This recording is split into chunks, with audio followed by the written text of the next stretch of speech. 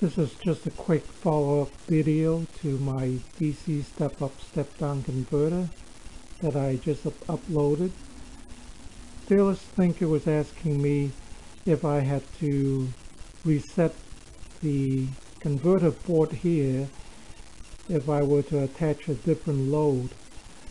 Apparently you do have to uh, because I was using three AA batteries and I set the output to 12.8 and I have just attached four AA batteries which makes it to close to 6 volt.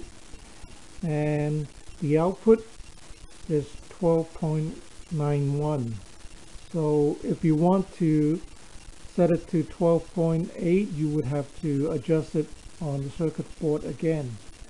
So of course, uh, this means that it is load sensitive. And I think the question is a good one because if, say, you were to use it in a windmill, wind turbine situation, the load and the voltage would change and um, the output voltage would be would be a little different.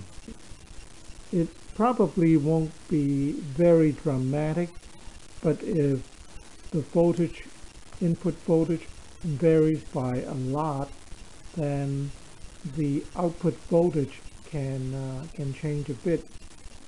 But in a situation where you have a somewhat fixed input voltage, as you can see the output voltage has stayed the same at 12.91. That's that uh, that was what I had set it at before. Uh, actually it was outputting 12.8 volt when I had three AA batteries. So you do have to uh, change the output or adjust it if you put a different load in. So uh, in a wind turbine situation uh, depending on how the wind changes the uh, input would be different and therefore the output would be slightly different too.